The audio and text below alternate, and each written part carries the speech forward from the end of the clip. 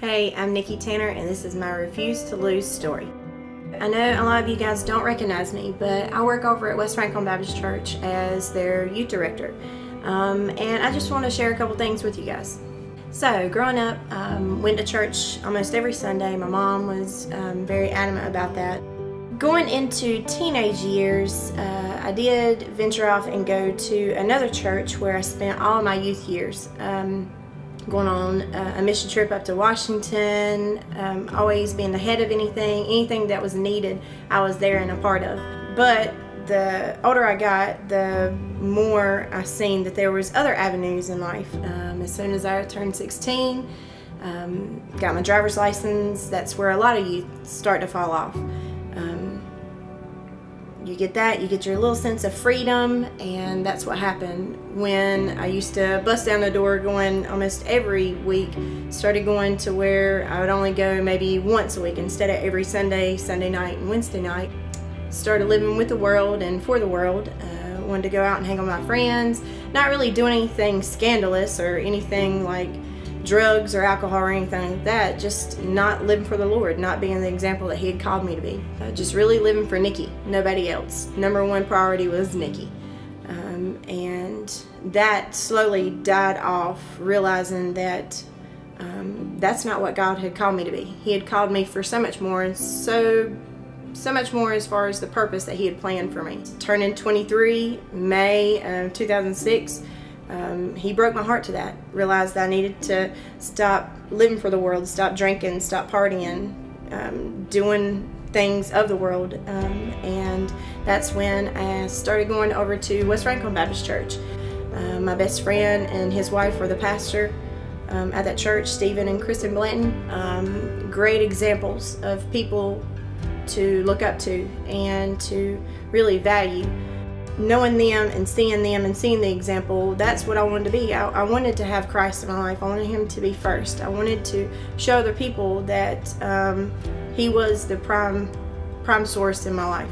Um, one of the things eight and a half years ago, um, never thought I would start doing would be working with young people. Started off as a GA teacher. Um, very fun to work with that group. Um, they really taught me a lot about patience. Um, but it was something that God was already preparing me for later on down the road. I started getting youth in our church.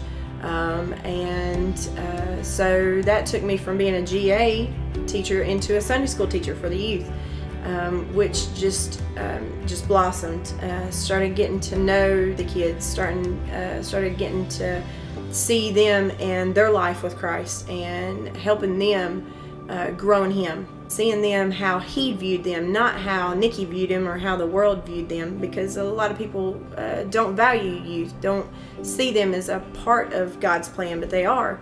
Um, I was thankful for the people that poured into my life when I was a youth. Um, so taking that and um, really uh, taking what he was teaching me to pour into them um, was a blessing which really opened my eyes to how you treat people, how you um, value people as God values them.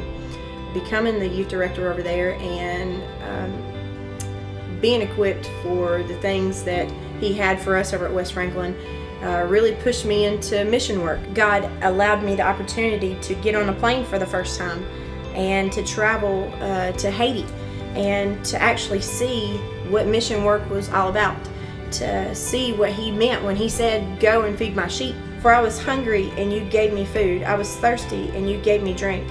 I was a stranger, and you took me in. And he goes on and says, I was naked, and you clothed me. I was sick, and you visited me. I was in prison, and you came to me. Uh, God's word tells us to go out into the nations and to um, share the gospel and to share how much He loves them, how much He values them. So when we uh, we pour into other people, when we love them when they're unlovable. Um, and there's days when my youth are unlovable, but that's okay because there's days when Nikki's unlovable, but yet um, we still have that love that we can pour out into each other and to grow from each other and to understand.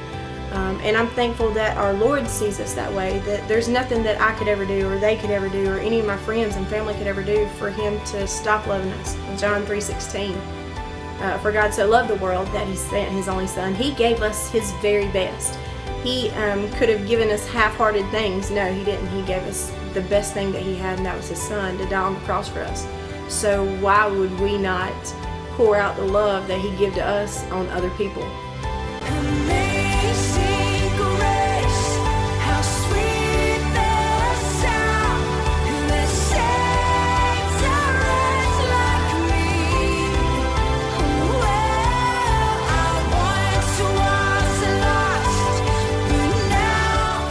Nikki Tanner, and this is my Refuse to Lose story.